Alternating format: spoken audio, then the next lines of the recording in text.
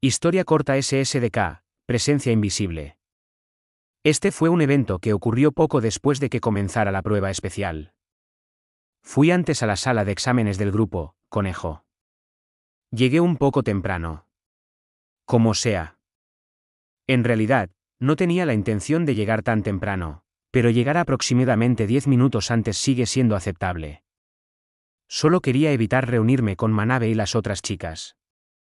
La razón es que ese incidente. La reapertura de viejas heridas en estas inesperadas circunstancias había perturbado mi humor.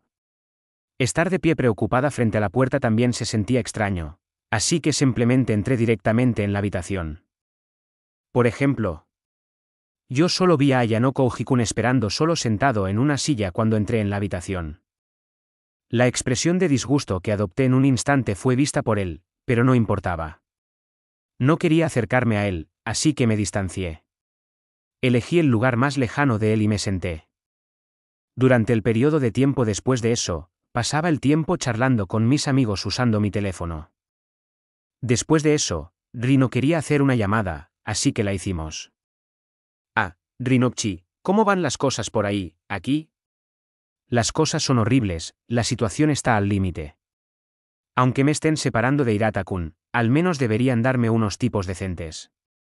Este grupo está realmente lleno de gente mala. Parecía que había muchas chicas en el grupo donde Rino estaba asignada, tenía envidia. Tenía sentimientos complicados al pensar que estaban muy animadas durante mi ausencia. Las chicas ciertamente son organismos que cotillean detrás de la gente que odian. Para evitar que aparezcan problemas después de la prueba, debo explorar con antelación, para controlarlas. Eso es lo más importante que debería estar haciendo ahora mismo. Después de terminar la llamada telefónica con unas pocas palabras, inspeccione el registro de chat de principio a fin para buscar cosas sospechosas. En, no debería haber ningún problema. Actualmente mi presencia sigue funcionando. Ayanoko Ojikun, quien estaba esperando en la habitación, entró en mi campo de visión. Ah, hablando de eso, eres el objetivo. Parece que Yukimura Kun y Soto, algo Kun no lo son. Esa cosa no era importante. Solo hable para pasar el tiempo. ¿Cómo debería decirlo? Yo no tenía ninguna impresión de este chico en particular. Era un tipo poco común en el aula, pero todavía podía encontrarlo en los rincones de mi memoria. ¿Por qué? Pensando un poco llegué a la respuesta. Solo por su apariencia, Ayanoko Ojikun no se ve nada mal. Si pudiera socializar tan bien como Hirata-kun, tal vez podría convertirse en una persona cuya popularidad no perdería ante él. No. Me respondió brevemente. No, totalmente imposible, no tiene habilidades de diálogo. Por eso siempre se mezcla con chicas anticuadas como Orikita y Sakura. Ya veo, entonces está bien. ¿Confías en mí? Fue porque yo sospechaba.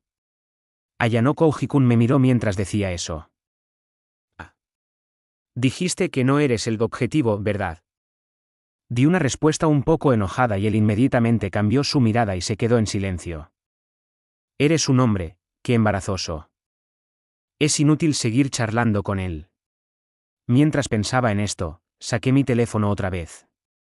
Al final, aparte de Hirata-kun, no hay hombres de verdad en la clase D. Por eso no puedo apartarme de su lado.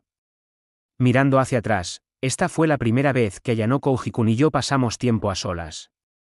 En mis tres años de escuela secundaria, él se convertiría en la persona más importante e insustituible para mí, pero en ese momento yo no lo sabía.